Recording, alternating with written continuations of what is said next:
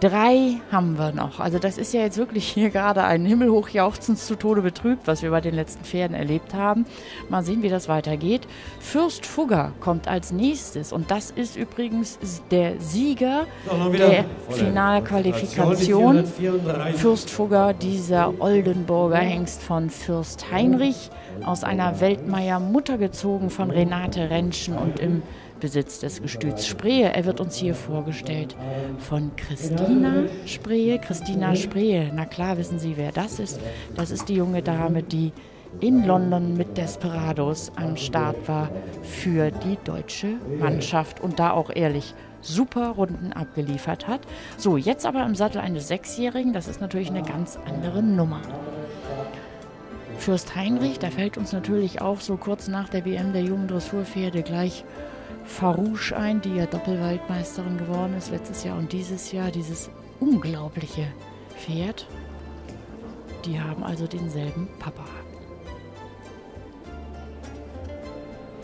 Wobei Fürst Heinrich ja selbst auch in Jungpferdeprüfungen hoch erfolgreich war und dieses Talent scheinbar weitergegeben hatte, ist er hier jetzt nach Fürstenwall mit dem zweiten Nachkommen in diesem Finale vertreten. Und die hohe Qualität von Fürstenwall ist ja gerade schon angesprochen worden.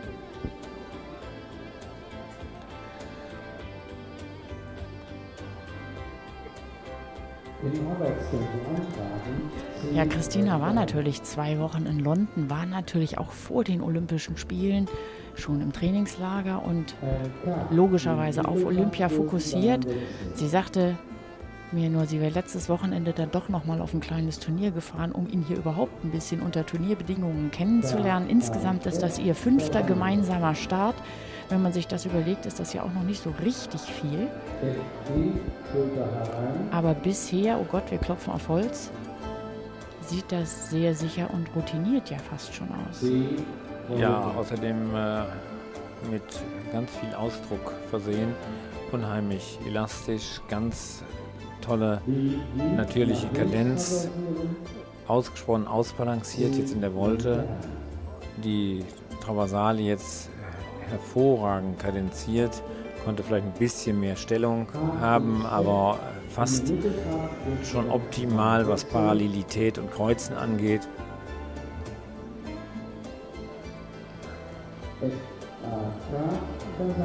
Tolle Schulterfreiheit des Pferdes, dadurch dieser Eindruck eines Bergauftrabens in der Verstärkung und auch jetzt äh, das Imponierende an ihm, diesem Pferd, ist, dass die Qualität des versammelten Traps sehr schön mitgenommen wird in den Seitengang. So ein ganz bisschen nägelig dürfen wir sein. In der Trabverstärkung habe ich jetzt so erhofft, dass das Hinterbein vielleicht doch noch ein bisschen lockerer weiter drunter schwingt. Ja, könnte so ein bisschen mehr Schub aus der Hinterhand entwickeln. Aber wir werden es nachher auch noch sehen. Der Hengst bleibt sehr schön schmal. Das ist bei Hengsten nicht immer selbstverständlich, weil die werden ja von früh äh, Jugend an oft auf Hengst schauen und so weiter mhm. präsentiert, müssen da ihr ganzes Gangvermögen ausspielen.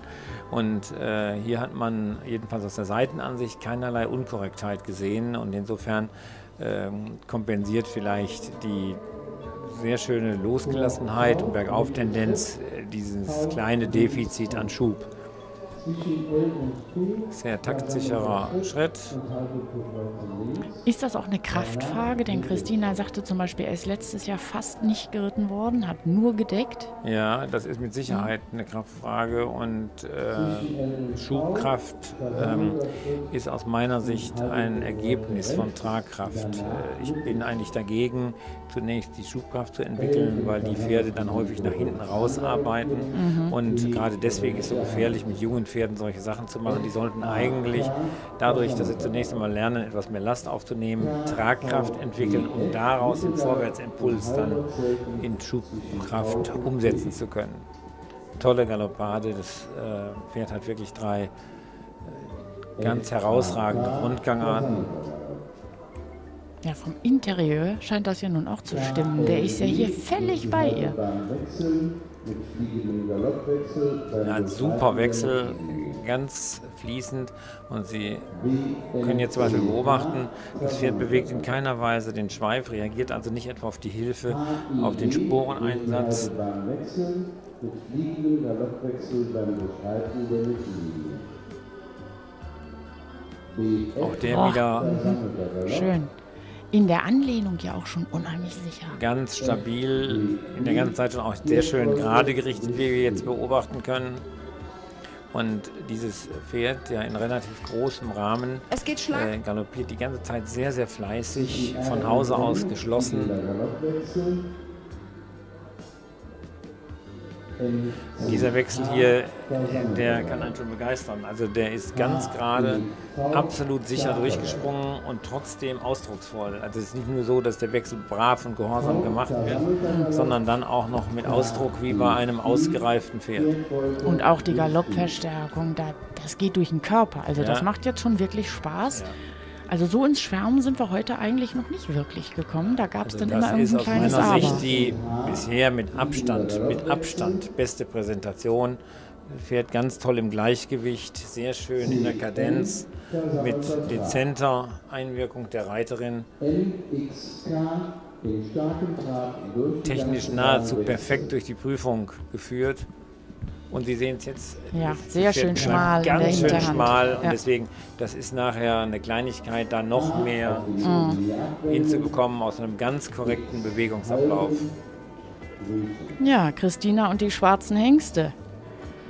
Das scheint eine gute Kombination.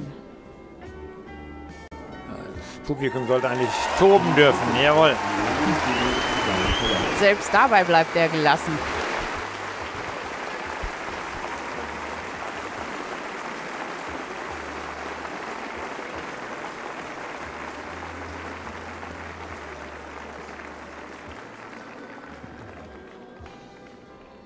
So, meine Damen und Herren, eben haben Sie gepfiffen. Das ist Ihr gutes Recht. Jetzt haben Sie applaudiert, als unsere dritte Olympiastarterin im Viereck war, nachdem wir Helen gesehen haben, nachdem wir, nachdem wir Dorothee gesehen haben, nun Christina hier. Und ähm, sind Sie einverstanden, dass das eine Traumrunde war?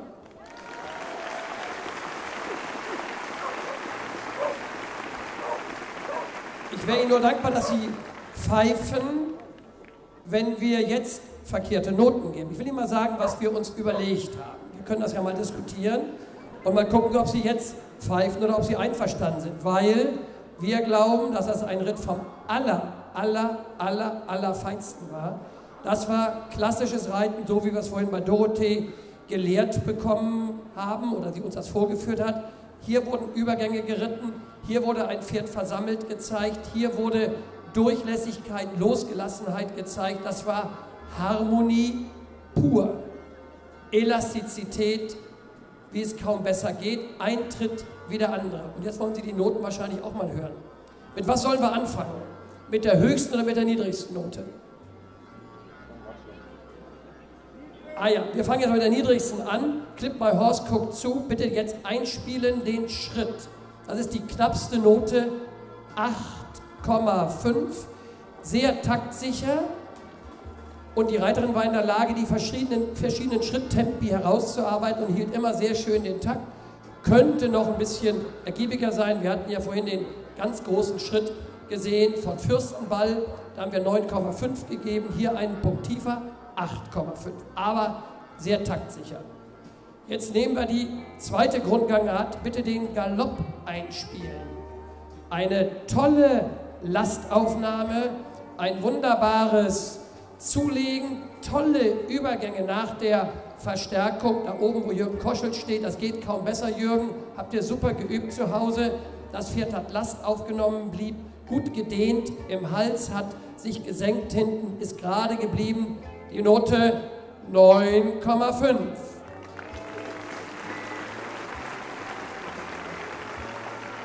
Die gleiche Note geben wir für die Durchlässigkeit. Ist ein zahmer Applaus. Wir, geben, wir sprechen über 9,5. Super Wechsel.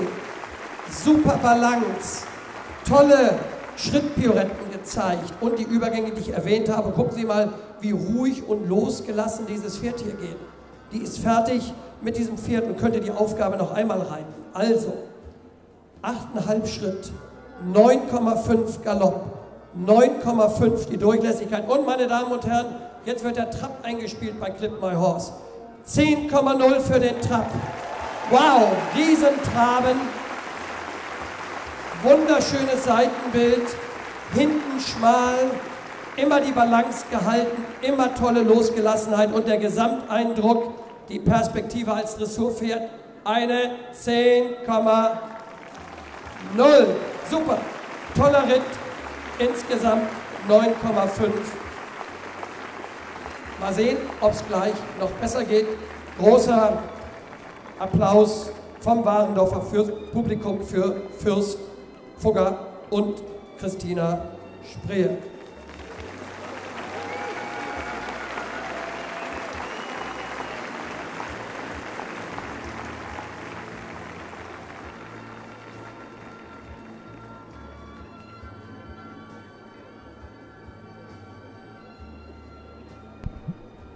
Ja, ich glaube, da darf sie sich ein Schlückchen Sekt gönnen. Insgesamt eine 9,5. Da liegt die Latte jetzt aber mal richtig hoch. Zwei Pferde haben wir noch und das wird schwierig, das zu knacken. Ja, das war jetzt wirklich ganz nahe am Optimum. Und äh, man kann nur sagen, im Nachhinein schade, dass Fürst Fugger nicht bei der Weltmeisterschaft starten konnte.